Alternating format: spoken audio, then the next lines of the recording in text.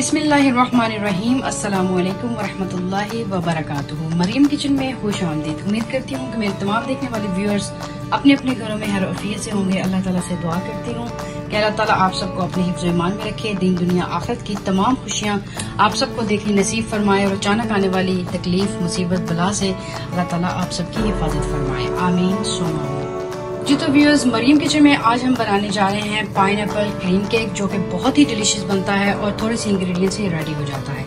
Pine Apple cream cake बनाने के लिए हमें जिन चीज़ों की ज़रूरत है, वो सब हमने यहाँ पे रेडी करके रखी हुई है। आप देख सकते हैं यहाँ पे हमारे पास पाउंड केक है, जिसके हमने स्लाइसेस करके रखे हुए हैं। यहाँ पे हमारे पास व्हिप क्रीम है और यहाँ पे आप देख सकते हैं कि हमारे पास पाइन के स्लाइसेस हैं और पाइन का जूस है। तो यहाँ पे आप देख सकते हैं कि स्ट्रॉबेरी और ब्लूबेरी है। पाइन क्रीम केक को हम स्ट्रॉबेरी और ब्लूबेरी से डेकोरेट करेंगे। चलते हैं, अपनी रेसिपी की तरफ़ टाइम को वेस्ट किए हुए जी तो व्यूअर्स यहाँ पे मैं ये बताते चलूँ कि यहाँ पे हमें क्वांटिटी की जो है ज़रूरत बिल्कुल नहीं पड़ेगी, क्योंकि ये डिपेंड करता है कि आपने कितनी ट्रेस बनानी है, कितने मेहमानों के लिए। तो जितनी ट्रेस आप बनाएँगे, उसी हिसाब से आप चीज़ों को इस्तेमाल करेंगे। तो चलते हैं हम अपनी रेसिपी की तरफ़। यहाँ पे व्यूअर्स हम सबसे पहले लेंगे विप क्रीम और विप क्रीम यहाँ पे हम व्यूअर्स ये बताते चलें कि हमने विप क्रीम पाइन और पाउंड केक्स की लेयर्स लगानी है। सबसे पहले हम विप क्रीम जो है, इसको सबसे पहले नीचे लगाएँगे ट्रे के, और चारों तरफ़ से विप क्रीम को हम जो है कि फिलअप कर लेंगे। जी तो वियर्स विप क्रीम की लेयर लगाने के बाद अब हम इसके ऊपर लगाएँगे पाउंड केक की लेयर्स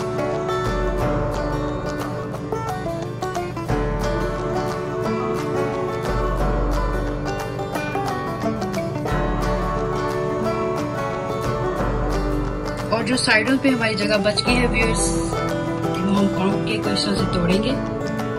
और साइडों से जगह है उसको हम भर लेंगे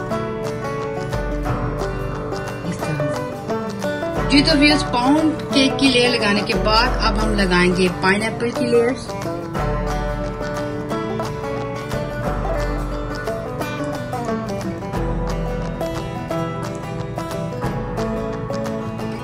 जी तो व्यूअर्स आप देख सकते हैं कि पाइन की लेयर जो है वो लग चुकी है। अब पाइन का जूस जो है, जो हमने ग्लास में डाल के रखा हुआ था, वो अब हम इसके ऊपर इस तरह से डाल देंगे। और व्यूअर्स अब हम दोबारा विप क्रीम की लेयर इसके ऊपर लगाएँगे जी तो व्यूअर्स आप देख सकते हैं कि हमने विप क्रीम की लेयर लगा दी है। अब दोबारा से हम ये प्रोसीजर को रिपीट करेंगे। अब हम फिर इसके ऊपर पाउंड केक की लेयर लगाएँगे। जी तो व्यूअर्स पाउंड केक की लेयर लगाने के बाद अब हम पाइन जूस जो है वो इसके ऊपर केक के ऊपर डालेंगे। पाइन जूस डालने के बाद व्यूअर्स हम फिर से पाइन के जो स्लाइसेस हैं, वो हम केक के ऊपर रखेंगे।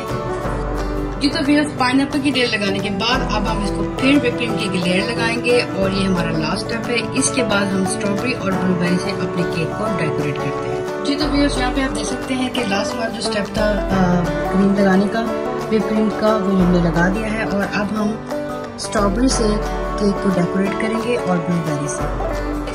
कि पाइन क्रीम केक हमारा बिल्कुल रेडी हो चुका है और देखिए हमने इसको डेकोरेट भी कर लिया है। माशाल्लाह से बहुत खूबसूरत लगा है और इंशाल्लाह ये खाने में भी बहुत डिलीशियस होगा। व्यूअर्स उम्मीद करती हूँ कि आज की रेसिपी आपको अच्छी लगी होगी। अगर अच्छी लगी है तो इसको लाइक करें फैमिली और फ्रेंड के साथ इसको शेयर करें और कमेंट बॉक्स में अपनी राय से मुझे ज़रूर आगाह करें। इसी के साथ व्यूअर्स अपना और अपने घर वालों का बहुत ढेर सारा ख्याल रखिएगा, मरियम को भी दुआ में याद रखिएगा। इस खूबसूरत दुआ के साथ कि अल्लाह और उसके हबीब सल्लल्लाहु अलैहि वसल्लम के हवाले मरियम को दे इजाज़त। इंशाल्लाह ज़िंदगी रही तो मिलेगी नेक्स्ट टाइम किसी नेक्स्ट डिलीशियस रेसिपी के साथ, तब तक के लिए अल्लाह हाफिज। असलम वरहमतुल्लाहि वबरकातुहू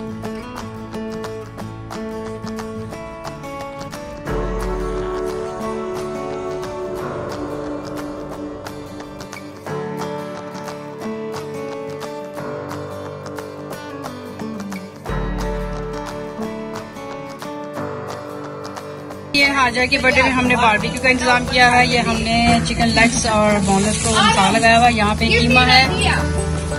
और यहाँ पे हम लोग बारबेक्यू कर रहे हैं। जिन पे हमने ये टिक्कियाँ कीमे की लगाई हुई हैं। और सारी रेसिपियों साथ शेयर नहीं कर सकते। सिर्फ़ केक ही आपके साथ शेयर किया है।